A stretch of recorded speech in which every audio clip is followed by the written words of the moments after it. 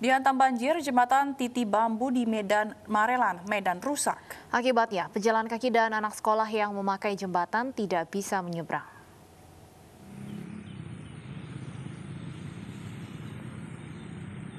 Jembatan Titi Bambu yang berada di kawasan Aloha lingkungan 30 Kelurahan Rengas Pulau Kecamatan Medan Marelan Kota Medan Sabtu siang rusak diterjang banjir kiriman dari kawasan tinggi Brastagi Tanah Karo.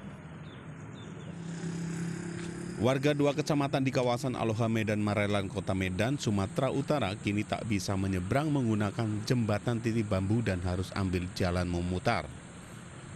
Banyaknya sampah kayu berukuran besar juga mengakibatkan jembatan tua tersebut berputar 90 derajat. Warga mengatakan jembatan titik bambu yang dalam masa perbaikan biasanya digunakan anak sekolah, pejalan kaki dan pengendara sepeda motor agar lebih mudah beraktivitas dan dekat dari dan menuju kota Medan.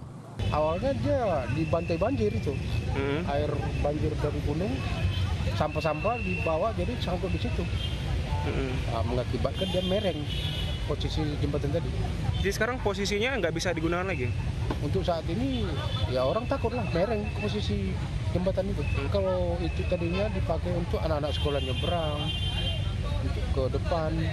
Pemerintah setempat menghimbau warga untuk tidak menggunakan jembatan titik bambu karena kondisi yang rusak dan dikhawatirkan dapat mencelakai warga.